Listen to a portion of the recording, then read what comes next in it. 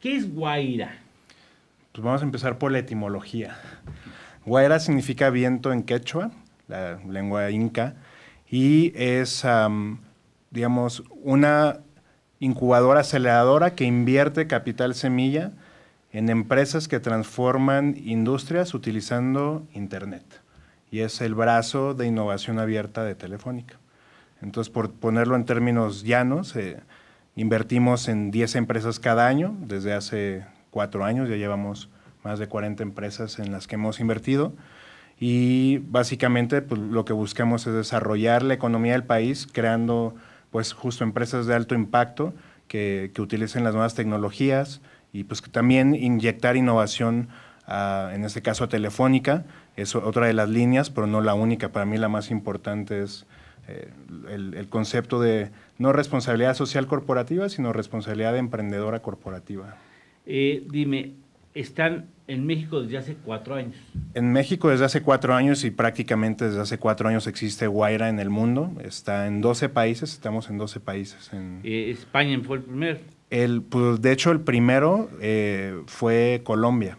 Ah, sí. Fue, fue Colombia. Ahí fue el modelo experimental. Pues fue, fue el, de, de hecho, a partir de que surgió Colombia, se, se, detonaron, se detonó España, se detonó México y el resto del mundo, ¿no?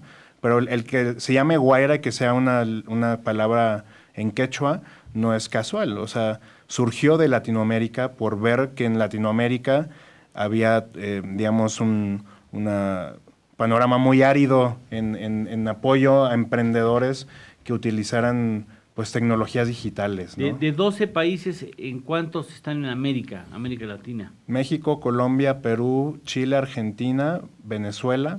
Y Brasil. No va a tener ni a quién mandarle, hermano, porque están. Y Brasil. Y Brasil. Ajá, eso es en Latinoamérica.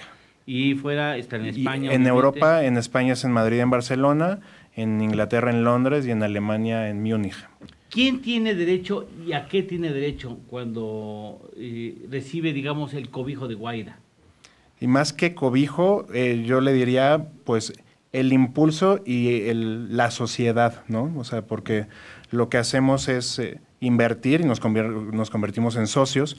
¿Quién tiene derecho? Cualquiera que tenga un producto o un servicio que use tecnologías móviles o digitales para transformar alguna industria que pueda crecer rápidamente, no solamente en México, sino incluso si, si nace siendo global, mucho mejor. Y ahora te podré poner más ejemplos, algunos ejemplos de empresas.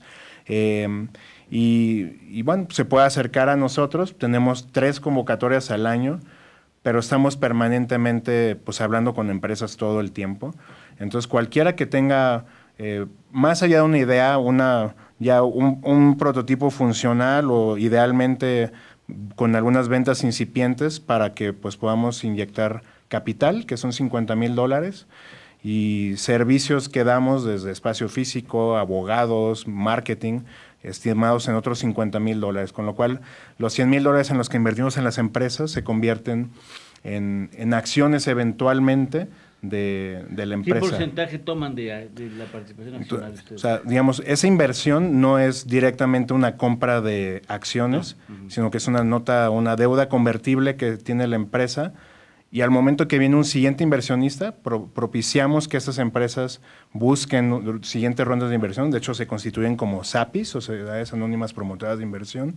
Eh, en la evaluación que haga el siguiente inversionista es que convertimos y eh, nunca tomamos más del 10% de la empresa. Aquí en México hemos invertido en 40 empresas, pero a nivel global en más de 500 empresas. De hecho, yo espero que cuando cerremos este año ya hayamos invertido en México nada más en 50 empresas y a nivel global en unas 600.